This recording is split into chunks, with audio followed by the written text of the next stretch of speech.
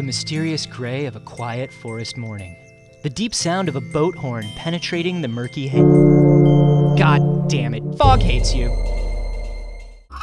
While you were busy daydreaming about Sherlock Holmes in foggy old London town, fog was smoke screening roads, causing 600 fatalities a year and over 15,000 hospitalizations. What does that do to your insurance premium? Well, it's elementary, my dear fucksin. It makes that shit expensive.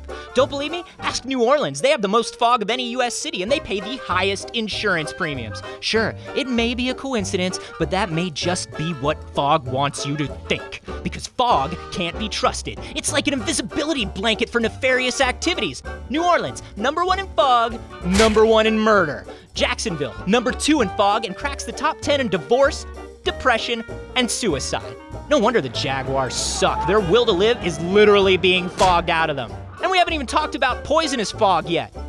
What? Shut up, correction monkey. You have no idea how often that stuff messes with my gaming. Seriously, how annoying was Faron Woods in Twilight Princess? It's purple fog, Link. Hold your stupid breath and run through it.